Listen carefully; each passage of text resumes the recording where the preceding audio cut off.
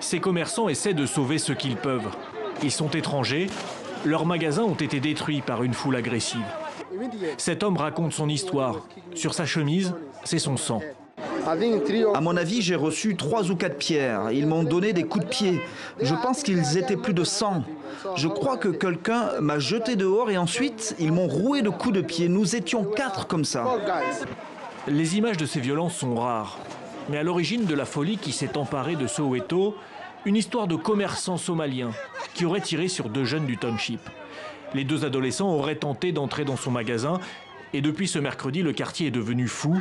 Les migrants sont ciblés.